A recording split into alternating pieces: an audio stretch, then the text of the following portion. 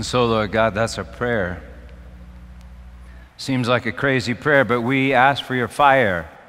We pray that your fire will fall and burn away our flesh, our self centeredness, our fear, our shame, uh, the lies that we live in and that we believe, and that you would reveal your kingdom within, your fire within, because we're your temple and there's a fire in the depths of your temple. And Lord God, you are that fire. You're the consuming fire, your love, and you're good. And so come, Holy Spirit, be glorified in us, blow the ashes from our skin, and reveal your kingdom deep within. In Jesus' name, we ask that you'd help us to preach. Amen. In the uh, mid 1980s, I had this job as assistant high school youth director at Bel Air Presbyterian Church in Los Angeles, California. It was Ronald Reagan's church, as well as church for folks like Kenny Rogers and Carol Lawrence, Steve Allen, Cheryl Ladd, who had worked in the junior high department. It was all pretty exciting for a kid like me, but it was rather depressing for Eloise. Eloise was a secretary for the youth department. She was single, divorced, and rather old. Actually, I did the math this, this week. Turns out she was 56, younger than I am now. But anyway, I thought she was old, and for Bel Air, she just wasn't much to look at. Rather unrefined. She wouldn't use the intercom, she'd just yell, Peter, get the phone! She wasn't a great secretary. She wore jeans because one leg was skinny from a, a, bout with polio when she was younger. She wore jeans until, to her horror, the new assistant pastor made her wear dresses in order to project the proper image. I, I really enjoyed Eloise, but most folks treated Eloise like a second class citizen. Nothing overt because after all this was this was church so people would say please and thank you and god bless yet with short attention spans impatience and their demands their eyes with their eyes they would communicate i've judged you and i've named you. Psychologists tell us that the subconscious mind is incredibly adept at reading subconscious signals which we subconsciously emit when we, when we see something we desire, our pupils dilate subconsciously, as if the person or thing that we desire, uh, as if we're taking that person or thing in. And when we see something that we judge undesirable, our pupils constrict, as if to keep that person or thing out. We can't help it. There's a Hebrew word that can be translated pupil or apple and is used to describe God's people, the apple of his eye. The word is ishon, literally little man, little ish. It refers to one's own image reflected in the eye of another. When another looks at you, you see yourself reflected in the pupil of their eye. Whether that pupil dilates or contracts tells you what they think of you, and you become their pupil. They teach you Eloise read the eyes and learned the lesson most people esteemed her not. He had no form or comeliness that we should look at him, prophesied Isaiah, and we esteemed him not. We once regarded Christ from a human point of view, we regard him thus no longer, writes Paul.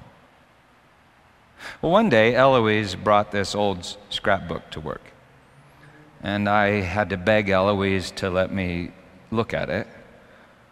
She finally let me. I opened it up, and there was the young face of our uh, youth department secretary on the cover of Vogue magazine. I turned the page, and there she was on the cover of another magazine, and another magazine, and, a, and another uh, magazine. This is Eloise on the cover of True Confessions in 1947. Here she is on the cover of True Confessions in 1948. This is Eloise advertising Palmolive soap. This is her advertising Sweetheart soap. And this is her advertising Ivory soap. Uh, are cover girls born beautiful? asked the advertisement. One day, Eloise told me that she had been roommates with Grace Kelly. Another day, she told me that she had dated John F. Kennedy. I said, Eloise, you dated John F. Kennedy? She said, Oh, yeah. I said, well, well, what happened? She said, Well, I dumped him. I said, Eloise, you dumped John F. Kennedy? Why'd you dump John F. Kennedy? Said, Peter, he was boring. He was all politics and stuffy. One of my favorite things to do at Bel Air Presbyterian Church was uh, walk up to Eloise's desk while snobby people were looking down upon her pushing her around, and I'd just say, Hey, did you know that Eloise was on the cover of Vogue magazine? Did you know that Grace Kelly, Princess of Monaco, was, well, that was Eloise's roommate? Did you know that Eloise dated John F. Kennedy? But not only did she date John F. Kennedy, she dumped him. And all at once, all at once, their entire demeanor would change. For their judgment had changed. Eloise name had changed. No longer secretary to the youth department, but cover girl. And their eyes would dilate. I'm convinced that Eloise loved me. Think of that, cover girl. She, she loved me, but she would hate it when I would do that, when I would say things like that. She'd say, Oh, Peter, stop it. Just stop it. You're embarrassing me. At the time, I was, what, 20, 22 or 23, I, I didn't really understand that. Well, how we see people changes how we treat people, and how we treat people changes people. It creates people or desecrates people. Eventually, um, the judgments uh, of people at church, the demand that she would wear a skirt to keep up appearances, it just all got to Eloise. And she lost her job. Before I left Los Angeles, I went to visit Eloise with a friend. She lived alone in a dark one bedroom apartment, entirely paranoid. She would not go outside. She wouldn't even answer the phone. If it rang, she just went into a panic. She kept muttering, What will people think? What will people think? What will people think? And I, I'm sure I said to Eloise, Eloise, it doesn't matter what people think. But soon after, at the age of 60, my friend Eloise died alone in that apartment. And you see, all my fawning over her supermodel past didn't help. I imagine it only made things worse. Cover girls may be born beautiful, but they don't stay beautiful. At least not in the eyes of this world. They don't, they don't stay beautiful, just as young men may be competent and powerful, but they don't stay competent and powerful. They gradually turn to dust. And so you see, our encouragements are oftentimes discouragements, for we congratulate each other on our ability to accumulate dust. And a can of ashes. So I've often wondered what could I have said to Eloise? Or to the demanding people that would stand at her desk with judgment in their eyes? What could I have said to her that would have helped, that would have quenched that thirst and healed her soul? For the past two weeks, we've been preaching about the woman at the well, Jesus and the woman at the well. Eloise reminds me of that woman and her empty water jar before that woman turned into a fountain. You know, Jesus. Um, don't know if you've ever noticed this, but Jesus was a ladies' man. Did you know that? Seriously. I mean, it's rather surprising once you pay attention. But can you think of one female in all the Gospels that Jesus ever really reprimands or speaks poorly of? Other than maybe, maybe his mom at the wedding party when she kept wanting him to turn water into wine. But, but other than that, I mean, Jesus is so sweet to women. And he was sweet to his mom, of course, too. It's so sweet to women. But men, he calls them whitewashed tombs. Woe to you, you whitewashed tombs. I mean, he's, he, he, he, he, well, I mean, he gets on his disciples. He, he, he scolds his disciples. He even looked at Peter, his best friend, and said, Get behind me, Satan. But women, they can be possessed, they can be prostitutes, they can be infected with disease, weeping at his feet, and he sings their praises and makes them the very first evangelists, like Mary of Magdalene or the woman at the well. And I suppose that all makes sense when you consider the fact that he is called the eschatos Adam. which means ultimate man, the last man. He's the man that everyone has been waiting for, the perfect image of the invisible God. And we, humanity, you and I, are his bride, the, the, the bride. And in the Bible, groom and bride become one body. And that body bears the fruit of life, even eternal life. I honestly find the Bible to be rather well, I find it to be a rather ridiculous book, unless you take it seriously. Unless you take all of it seriously. If you pick and choose the parts that make sense to you, it will never make sense of you. Seriously. And by seriously, I don't mean literally, as modern people mean literally. I mean more than literally. The Bible is more true than your experience of space and time. The Bible begins with a story that modern people have not taken seriously, and thus they don't take most of the Bible seriously, and they don't take the Word of God, the eschatos Adam, they don't take Jesus seriously. They read the story like they read an instruction manual for the microwave, and so they think it's simply about a naked man, a naked woman, and a talking snake, and so they miss the point entirely. Or make the point that there is no point, for the story couldn't have actually happened according to them.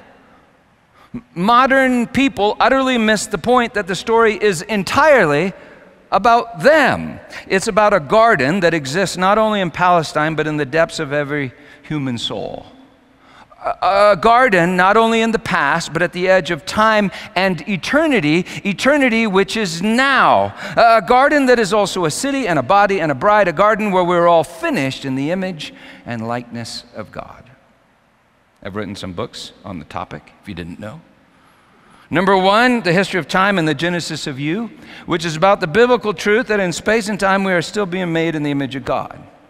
And secondly, God and His body, the romance of Adam and bride, which is about the biblical truth that God creates us through the romance of the gospel. And one day I hope to write number three, the tree in the middle of the garden, which will be about the biblical truth that God in Christ Jesus finishes the job of creating us on a tree in the middle of the garden, a tree that we often call the cross. And so, why am I telling you all of this? Well, because in Genesis chapter 3, verse 20, Adam says something to Eve that I believe Jesus, the eschatos Adam, says to each one of us. And I think that we can say it to each other. And when we say it to each other, I want us to believe that it's not just psychobabble, religious nonsense, or wishful thinking. I want us to believe that it's the Word of God that creates everything that's anything. And I think I could have said it or something like it to Eloise in 1984. Hopefully, remember that God just speaks a word or words in Genesis chapter 1, and all creation happens. And on the seventh day, it is finished, and everything, everything is very, very good. Chapter 1. But in Genesis chapter 2, the Bible begins, oh, I should say, everything is very good, everything is finished, in, including you. But in Genesis chapter 2, the Bible begins to describe you and your creation. And although I may not know you at all, I'd venture a guess that you're not entirely good. Right? Which means that you're not entirely finished. You are still being created. In Genesis 2, God breathes into the dust and begins to make Adam, which is normally translated man or mankind or humanity. Because humanity can't find God, our helper, God puts humanity to sleep and from the side of man makes woman. Man names her woman, for she's fashioned from the side of man, just as the church is fashioned from the side of Christ with body broken and blood shed. In Genesis chapter 3, a serpent tempts the woman to make herself in the image of God. Although God already said that he would make us, make her in his own image, the serpent tempts her to do this by taking fruit from, from this tree in the middle of the garden. So she takes knowledge of the good which is also the life, and everything begins to die. She ate and gave some to her husband who was with her. He would not leave her nor forsake her. St. Paul writes Adam was not deceived. The woman was deceived and became a transgressor. Now, that makes no sense if Paul was talking about any old Adam, because Paul is super clear that every Adam, every man, except one, sins. So maybe Paul is not talking about any old Adam. Paul is the one that teaches us all about the eschatos Adam, who will not leave us nor forsake us. Well, the woman eats, and death enters the human race. The woman eats, and Christ is sacrificed on a tree in the middle of the garden. The woman eats, and the Black Plague sweeps across Europe. The, the woman eats, and six million Jews are tortured and exterminated. The woman eats, and everyone that you have ever loved suffers and dies. The woman eats. In Genesis 3 9, God finds the woman and that first Adam hiding in fig leaves in shame. He curses the serpent, saying, I will put enmity between her seed, her offspring, and your seed, your offspring. He, singular, the seed, shall crush your head. He's talking to the serpent, and you shall bruise his heel. Then God curses the ground, saying to Adam, Because you listened to the voice of your wife and have eaten of the tree, in pain shall you eat of the ground all the days of your life. You are dust, and to dust you will return. Next verse, Genesis chapter 3, verse 20, our verse, the man, Ha-Adam, the Adam, called his wife's name, his Isha's name, Eve, because she was the mother of all living. Are you paying attention? Did you just hear that? Because that is the exact opposite of what we would expect the Adam to say, right? I mean, the woman has just listened to Satan, committed the original sin, resulting in the death of all life and all suffering, sorrow, and loneliness in humanity. You would expect Adam to say, You stupid wench! You dumb woman! That's the last time I listen to you. That's the last time I let you do the talking.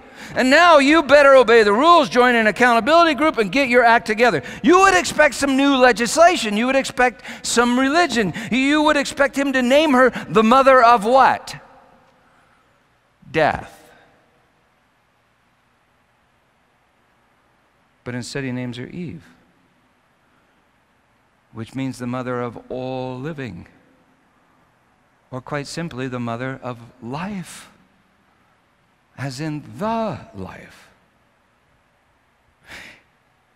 He names her that because she was that. according to Genesis chapter 3 verse 20. The verb was is in the perfect tense, indicating that this has already happened and is perfected. It is finished. It's not that she might be, not that she could be, would be, or should be, but she already is the mother of life. So, how could Adam do that? He doesn't name her according to what she has done, he names her according to the word that God has spoken. In, in, chapter 1, God had said, Let us make humanity in our image, after our likeness. And, and it was so, and God saw everything that He had made. That would include Eve, and behold, it was very good. In chapter 3, God had said, The seed of the woman, he, singular, will crush the serpent's head. So, so th- this Adam in Genesis 3:20 names her mother uh, of life. This Adam knows the good, which is the life, and that Eve will give birth to the life, not only to living things but all the living uh, the life. So so anyway, Eve works death and Adam names her the mother of life. How could Adam do that? Well, maybe this isn't simply, not simply, the first Adam. When Adam fell, God's Son fell because of the true union made in heaven. God's Son could not leave Adam, for by Adam I understand all men, writes Julian of Norwich. Adam fell from life to death into the valley of this wretched world, and after that into hell. God's Son fell with Adam into the valley of the Virgin's womb. And so St. Paul writes this Adam was a type, a tupos in Greek, an imprint. It refers to the empty form left by pressing a figure into clay. It refers to an empty space, destined to be filled with a substance. Adam was a type of the one who was to come, the substance. Adam was a type, and all people are a type because we, male and female, are all Adam. We are all empty humanity destined to be filled with Jesus the Christ. The substance belongs to Christ, writes Paul. Even now, every good decision in you is the life of Jesus manifesting in you. He is your righteousness, writes Paul. So, Adam, this Adam names the woman taken from his side. He names her, but not according to what she has done. And what has she done? Well, she listened to a lie and so tried to make a name for herself. The snake tempted her to take the knowledge of the good in order to make herself in the image of the good, who is God. Jesus is the good in flesh, Jesus is the life, and Jesus is the eschatos Adam. So Jesus must have somehow been on that tree in the middle of the garden. So I hope you see that the fruit of the tree is not bad, but how we take it can be the very definition of evil, and how we receive it can be the very definition of the good, even life. Eve listened to the lie and took knowledge in order to make a name for herself, and instead of making life, she made what? Death. You remember what Jesus said to the Jews who tried to justify themselves with knowledge of good and evil? You're of your father, the devil, the father of lies. Now, the devil cannot make real people, like we talked about last time. He can only make false people, imitation people. Uh, he, actually, he can't even do that. With lies, he can get us to make false people. Perhaps they are the offspring of the serpent that God mentions in Genesis 3. Well, when you name yourself, that is, when you judge yourself according to what you've done, you make a false self. I think that's the spawn of the devil. I think we normally call it an ego. It is who you are not. It is constructed with your judgments, which are disobedience, darkness, lies, and death, which you see are not a substance, but they are an absence. It is filled with pride, shame, and fear, which in reality are nothing but the manifestation of a lie. It is the void, it is the manifest absence of the way, the truth, the life, and the light in you. But then what happens when you come back to the, to the tree in the middle of the garden. When, when we come to know Jesus Christ crucified and risen from the dead, what happens then? When we hear him say, Father, forgive, it is finished, into your hands I commit my breath, my spirit. When we know Jesus Christ, because Jesus Christ has come to know us. What happens when we see that what we have taken has always been given? What happens when we receive the body and blood as a gift rather than uh, something that we take as our due? What happens when we receive the eternal seed? Well, God reveals the new Adam in us, the new man. Faith, hope, and love in you are the Word of God in you. You can't make love, love makes you with His Word. And Christ in you is God's judgment in you, mercy in you, light in you, the way, truth, and life in you. You don't determine God's judgment. God's judgment determines you. The me that God creates is who I am, and who I am is actually I am that I am in me. Who I am is eternal. and yet being revealed in space and time in me and even as me. So check this out. who I am takes the very shape of who I am not. So, who I am not is like a womb for the formation and revelation of who I am. In the very place it was said to them, You are not my people, they will be called sons of the living God, writes Paul. Where sin increased, grace abounded all the more. In the very place of my bad judgment, God reveals his good judgment. God's judgment is grace. God's judgment in me is his word in me, it's Christ in me. So, this is the utterly amazing part. Jesus is God's judgment uh, uh, of, of, of me. Jesus is the revelation of who I am, perfectly filling and annihilating who I am not. Jesus is the Son of Man, which makes man the mother of Jesus. It turns out that old Adam is Eve. And Eve gives birth to the new Adam, which is who we truly are. So we actually are the bride and the body of Christ, giving birth to the life of Christ in ourselves and this world. And why do I get so worked up about this? Because I want you to believe it's not religious mumbo jumbo.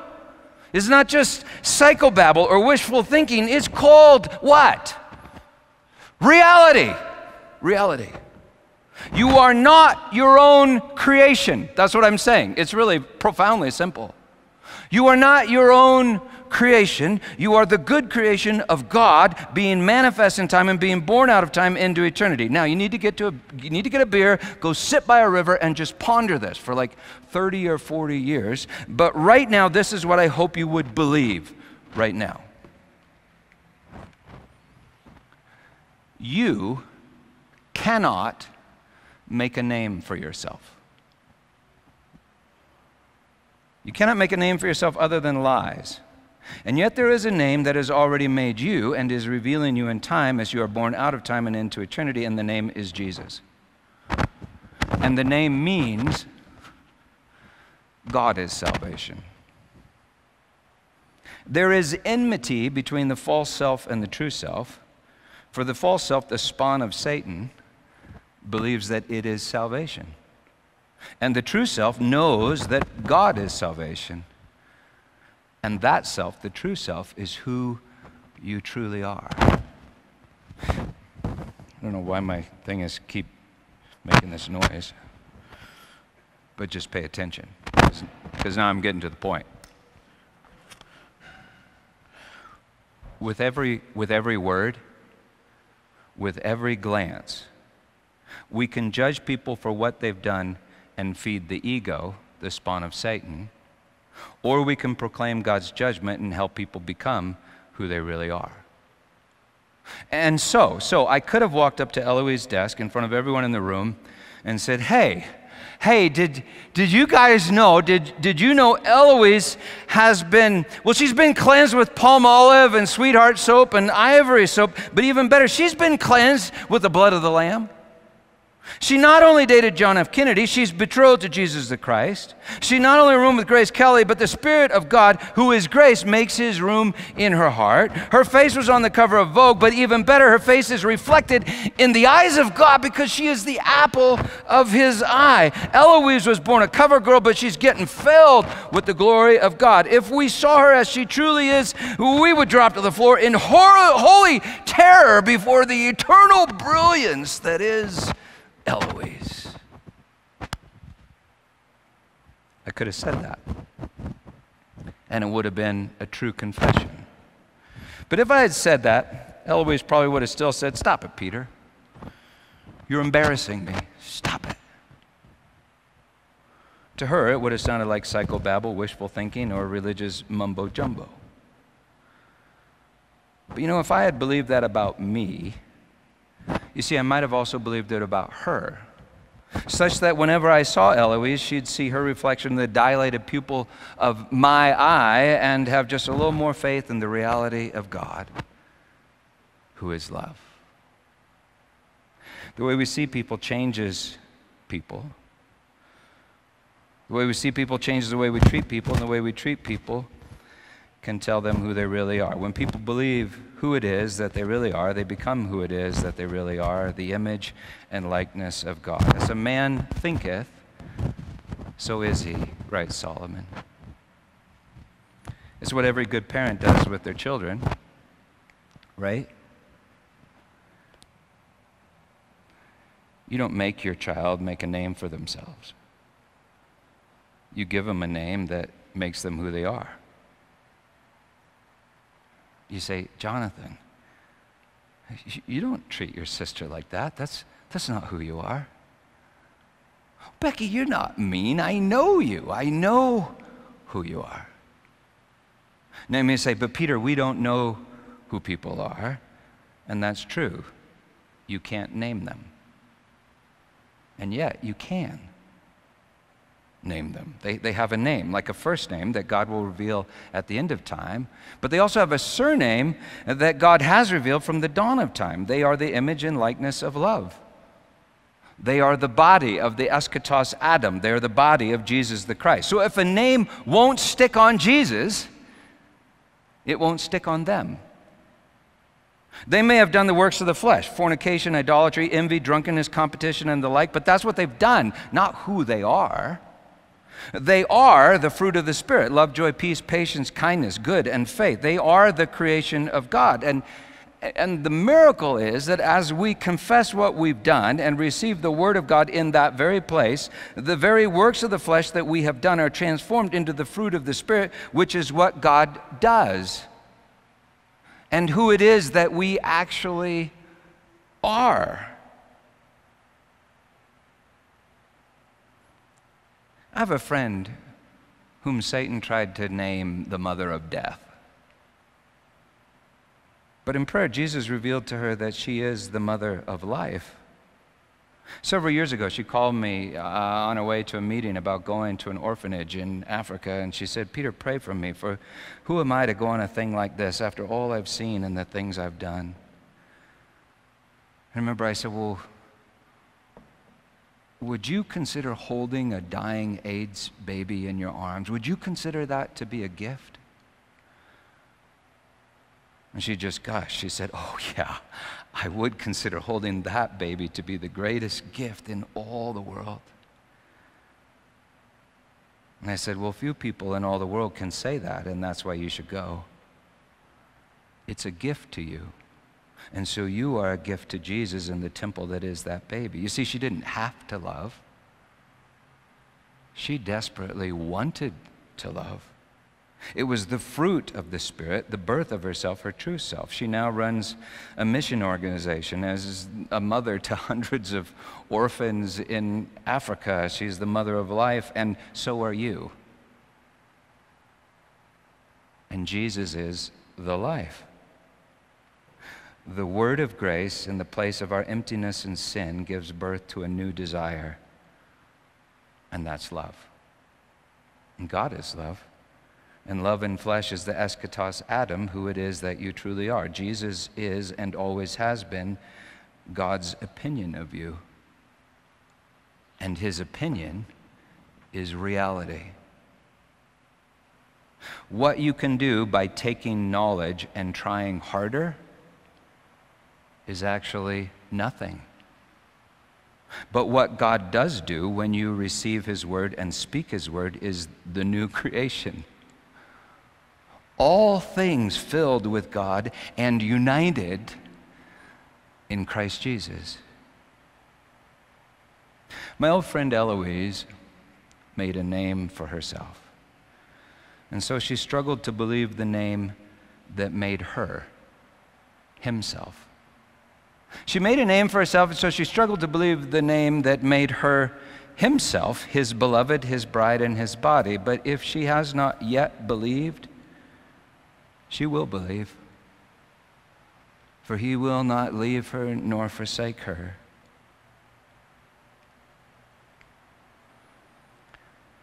Even if she makes her bed in Sheol, even there he will hold her. Even in the depths of Sheol, he will hold you until the end of time, if need be. But how much better if you surrendered to the eternal word right now? And so he took the bread and he broke it, saying, This is my body given to you.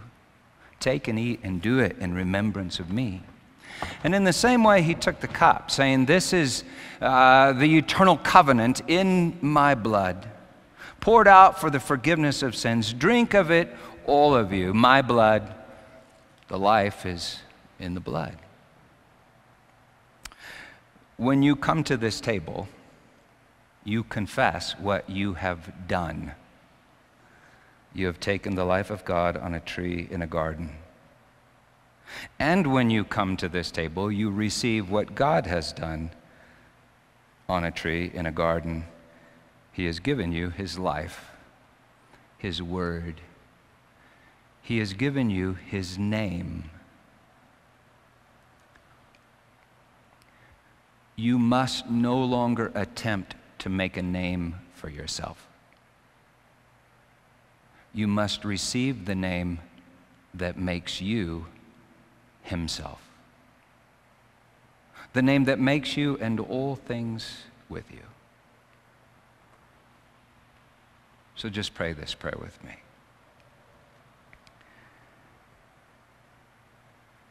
Lord God, I confess that I have been trying to create myself.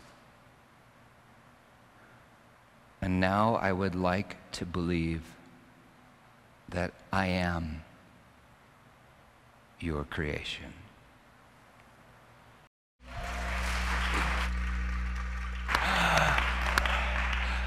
So, if you're like me, I know something about you, and that is that this, well, I know that you've been trying to create yourself and you suck at it. now, that sounds like pretty bad news. But it's pretty, actually pretty incredible news. It's the gospel because once you come to believe that you can't create yourself, you can begin to believe that you are God's creation. And everything God creates is good. And it is finished. We learned that at a tree in the middle of the garden, and yet it's always true. And when you believe it, the serpent's game is up. Your eyes open, and this world loses its power. So, in the name of Jesus, believe the gospel. Amen.